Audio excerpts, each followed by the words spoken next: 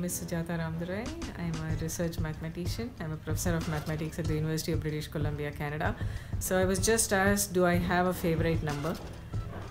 I can't say I have a favorite number uh, now, but I remember very clearly my first favorite number, and that was six.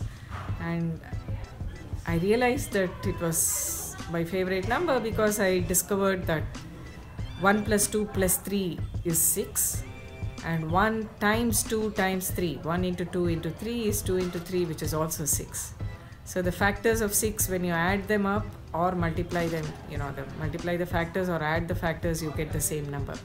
And much much later in life i realized that these numbers actually have a name. They are called perfect numbers. But i liked 6 just for the simple reason when i don't know i must have been eight, seven, eight, something like that when I discovered this property of six and I liked 6 for that reason and I guess I still like it.